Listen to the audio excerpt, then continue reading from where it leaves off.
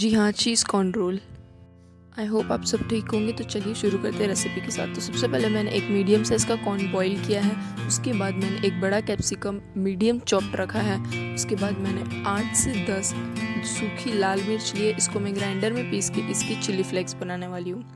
फिर मैंने 200 ग्राम चीज़ लिया है चीज़ आप चाहो तो ज़्यादा भी रख सकते हो, अगर आपको चीज़ रोल बनाना हो। फिर मैंने चार से पाँच या तीन से चार हरा कांदा लिया है, इसको भी मैंने मीडियमली चॉप्ड रखा है। उसके बाद मैंने दो बड़ा चम्मच लहसुन का पेस्ट लिया है और फिर मैंने एक बड़ा चम्मच काली मिरी लिया है। और ये मैंने दो छोटे गाजर को ग्रेट कर दिया जैसा आप हलवा बनाने के टाइम करते हो वैसा। और ये है मायोनीस और वो है बटर मायोनीस और बटर की क्वांटिटी मैं आपको बाद में बताऊँगी। तो चलिए शुरू करते हैं। तो एक बड़ी कढ़ाई गरम करेंगे, उसके बाद उसमें तीन बड़ी चम्मच बटर डालेंगे। अब बटर को अच्छे से मेल्ट होने देंगे। जैसे ही बटर मेल्ट हो जाता है, हम उसमें हरा प्याज डाल देंगे। उसके बाद हम उसमें डालेंगे कैप्सिकम यानी कि शिमला मिर्च।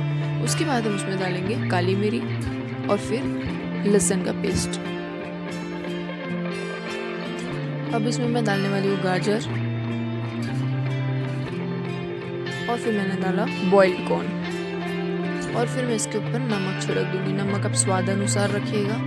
अब इस सारी जो भी इंग्रेडिएंट्स डाले, इन सबको अच्छी तरीके से मिक्स कर देना अब ऊपर से मैं चिली फ्लेक्स डालने वाली हूँ। आप चिली फ्लेक्स में जितने भी चिलीज यूज़ कर रहे हो, तीन, चार, पाँच, जितने भी वो आप अपनी तीखा आपको जितना चाहिए उस हिसाब से लेना है। उसके बाद मैंने चार बड़ा चम्मच मायोनीज़ डाला और फिर 200 ग्राम चीज़ डाला। मायोनीज़ मैंने आपको जितना क्रीमी रखना है उस हिसाब से मायोनीज़ डालना मेरे को ज़्यादा रखना था क्रीमी इसके लिए मैंने ज़्यादा मायोनीज़ डाला। अभी आप ये देख सकते हो इसकी कंसिस्टेंसी ये कितना क्रीमी बना है। तो बस इतना ही क्रीमी आपको रखना है। अब मैं बनाने वाली हूँ बैटर तो सबसे पहले उसके लिए मैंने लिया दो बड़ा चम्मच मैदा। अब इसमें मैं पानी धीरे धीरे करके डालूँगी, एक साथ नहीं डालूँगी। और पानी डालते डालते ही मिक्स करते जाऊँगी, ताकि वो गाढ़ ना हो जाए। अब इसे अच्छी तरीके से आपको मिक्स कर देंगे बिल्कुल ऐसे हो जाना चाहिए। इतना ही, ना एकदम पतला, ना एकदम गाढ़ा, बिल्कुल यही कंसिस्टेंसी तो सब तो अभी हम बनाने वाले हैं रोल तो उसके लिए आपको सबसे पहले एक स्क्वायर शेप का पट्टी ले लेना है। या तो समोसा पट्टी बोलते हैं, या तो कोई रोल पट्टी भी बोलते हैं। बस वही लेना है आपको। उसके बीच में आपको जो स्टफिंग हमने बनाई थी, वो इसी तरीके से रखना है जैसे मैंने रख दिया।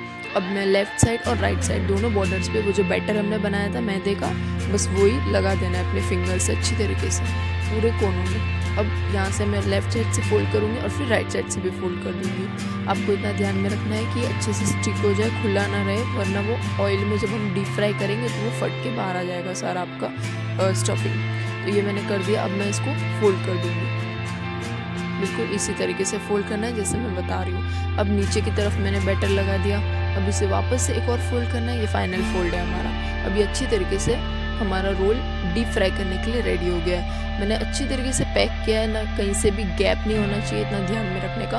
वरना आप डीप फ्राई करोगे, तब ये पूरा फुट कर बाहर आ जाएगा इसका स्टफिंग तो अब हमें तेल गर्म करेंगे एक बड़ी सी कढ़ाई में और ये मैंने रोल फ्राई करने के लिए रख दिया। अब इसे तब तक फ्राई करना जब तक कि इसका कलर लाइट ब्राउन ना हो जाए।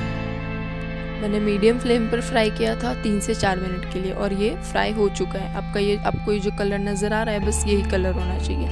तो बस अब इसको निकाल दो। कोई भी टिश्यू पेपर पे रखो या तो कोई न्यूज़पेपर पे ताकि इसके अंदर जो भी ऑयल है वो निकल जाए। वो पेपर एब्जॉर्ब कर लेगा। अब ये देखो, मैं ये आपको तोड़ के बता रही हूँ, ये कितना क्रीमी और कितना चीज़ी बना है। बस फिर इंतज़ार किस बात का है? आप लोग भी इस रेसिपी को ट्राई करो जल्दी से जल्दी और प्लीज़ कमेंट सेक्शन में बताओ कि आपको ये रेसिपी कैसी लगी। शेयर भी करना और हाँ आपकी भी तरफ़ से अगर कोई सजेशन हो तो वो भी आप मुझे कमेंट सेक्शन में बता सकते हो। अब इसे लंच में खा लो ब्रेकफास्ट में खा लो, या इवनिंग स्नैक में खा लो, वो आपकी मर्ज़ी है। और हाँ मैं मदर्स को स्पेशली बोलना चाहूँगी कि अगर आप कंफ्यूज हो कि अपने बच्चे को टिफ़िन में क्या देना चाहिए तो इससे अच्छा ऑप्शन आपको मिल ही नहीं सकता। Okay thanks for watching my video bye